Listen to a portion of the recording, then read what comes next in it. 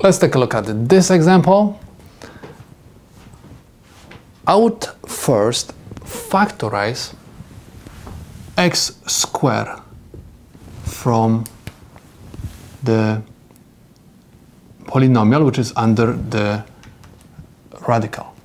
So what I'm going to do, I'm going to simply copy limit with x going to the infinity and I'm going to have cube root of x squared and inside of the parentheses I'm going to have 3 plus 4 over x squared over and I have x plus 3. Next I'm going to rewrite this cube root as the product of two cube roots. So I'm going to have limit with x going to the infinity and simply write cube root of x squared times cube root of 3 plus 4 over x squared over denominator. From the denominator I'm going to factorize x. I have x and in parentheses I'm going to have 1 plus 3 over x. Next I'm going to change the radical to the exponent and I'm going to rewrite my problem as limit with x going to infinity. And I have x 2 over 3 times cube root of 3 plus 4 over x square.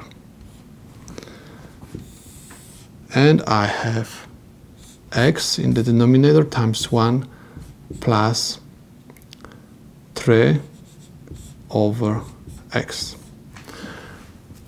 Please notice that we factorize x in order to create fractions which have x's in the denominator because if you are going to have constant in the numerator and x is going to go to infinity this fraction is going to approach zero.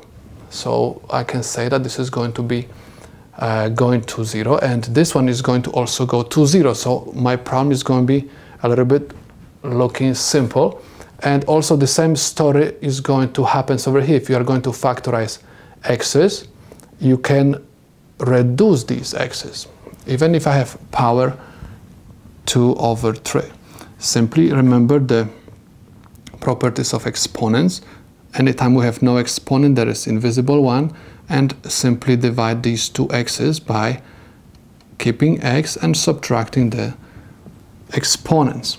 So you are going to have limit x is going to infinity and I have x and 2 third and minus 3 third is equal negative 1 third.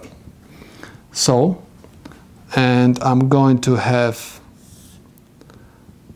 over here cube root 3 plus 4 over x square over 1 plus 3 over x.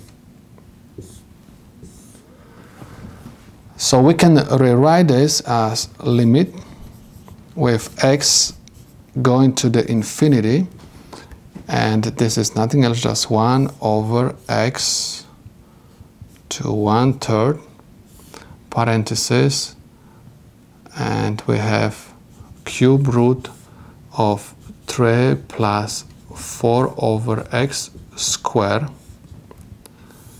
over 1 plus 3 over x.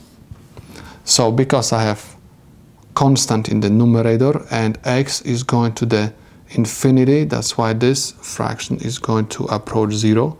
And because I have constant in the numerator and x is going to infinity, this is going to approach zero.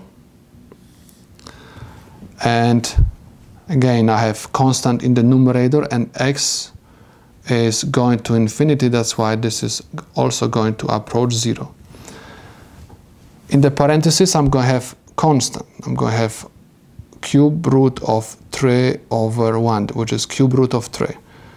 0 times constant is equal 0. That's why this is the solution to my problem. Let's take a look at this example. This time we're supposed to divide the numerator and denominator by 3 to power x.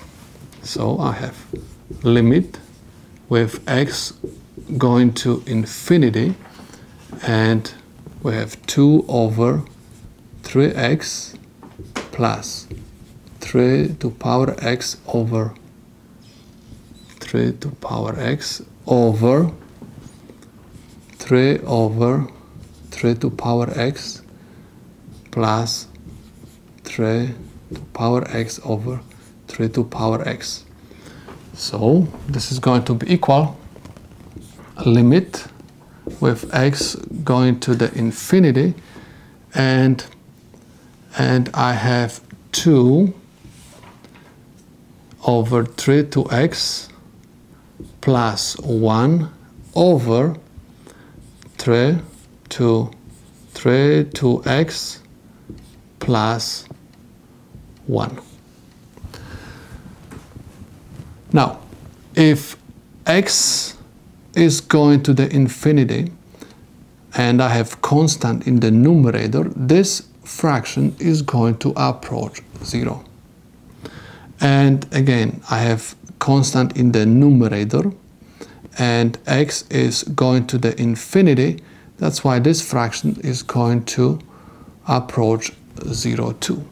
That's why I have 1 over 1, which is equal 1. This is the solution to my problem.